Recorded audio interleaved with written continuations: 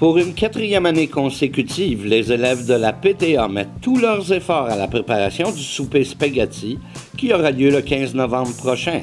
C'est dans le cadre du programme d'entrepreneuriat que plusieurs comités se forment et chacun d'eux se spécialise dans des domaines particuliers.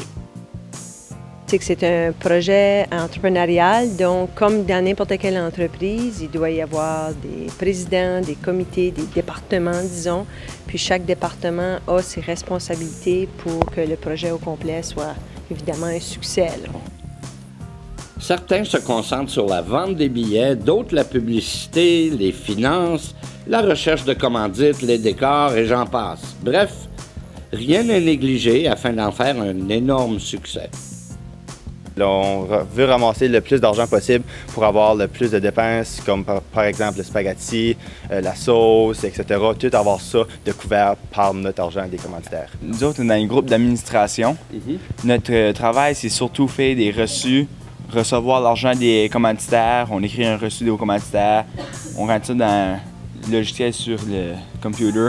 Euh, ben, nous autres, c'est nous autres qui avons choisi le thème pour la soirée. Puis cette année, le thème, c'est euh, La Belle et le Clochard. Vous pouvez vous installer et déguster votre spaghetti sur place devant de jeunes artistes qui sauront vous divertir ou tout simplement l'apporter chez vous et le partager avec votre famille. L'objectif est de faire encore mieux que les soupers précédents. Mais c'est certain qu'on va avoir le meilleur but le plus haut possible, mais avec nos élèves, on a des certains buts, comme euh, plus de billets qui vendent, ils ont, ils ont toujours des récompenses. Si on est motivé, les élèves, de vendre des billets, puis si on a des plus haut profit, c'est toujours meilleur. Vous pouvez vous procurer votre billet auprès des étudiants au coût de 7 En gros, les profits viendront en aide à 8 équipes sportives, 13 comités de la vie scolaire et divers événements spéciaux. Également, une part des profits est placée dans un projet à long terme afin de moderniser le salon et le carrefour des élèves. De beaux projets et de beaux efforts pour leur esprit d'initiative et de dévouement. Moi, euh, j'ai vraiment aimé ça comme expérience. Ça m'a permis comme de me dégêner puis trouver euh, des choses que je savais pas de moi avant. Il y a beaucoup de place, il y a beaucoup de tables. C'est fait pour accueillir beaucoup de personnes.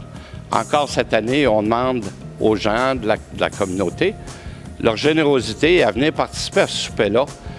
Il y a deux choses principales à retenir de cet événement-là. C'est d'abord pour une bonne cause, puisqu'il s'agit de venir en aide aux étudiants de la polyvalente pour leur offrir de meilleurs locaux, de meilleurs équipements, et d'autre part, venir goûter à un bon spaghetti chaque année. Il y a des centaines de personnes qui viennent l'essayer. Ça vaut à peine de revenir encore cette année. Alors, on se revoit le 15 novembre entre 4h et 7h.